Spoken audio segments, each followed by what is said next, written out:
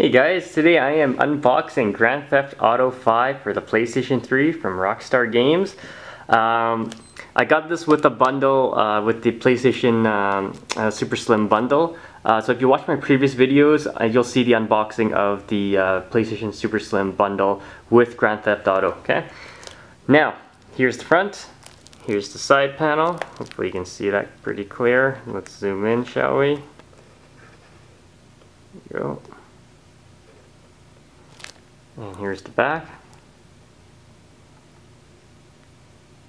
So it's one player, uh, and there is uh, Grand Theft Auto Online now, so uh, which is, I can't wait to play it. You need about 8.23 gigs of hard drive space, uh, plays in 720p, and it is DualShock 3 compatible, rated M, okay? And that's the back.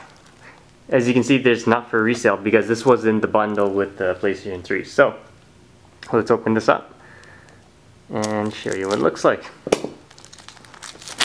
I can't wait to play it, so let's get this back in focus. There we go.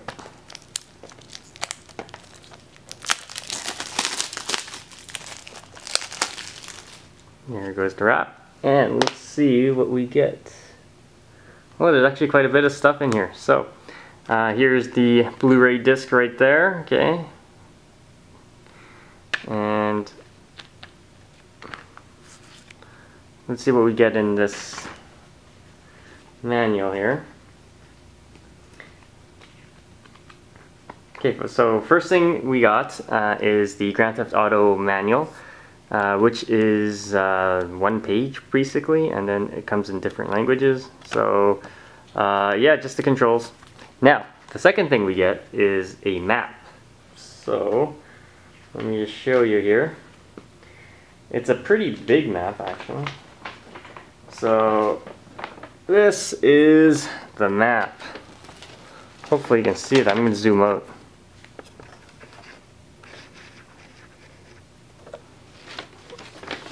See the map there? That's all of Los Santos. Right here.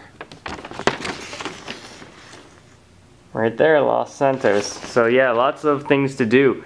Um, this game is your best type of sandbox game ever made. So yeah, it got really good ratings and um, can't wait to play it. So uh, stay tuned for my full review of Grand Theft Auto 5.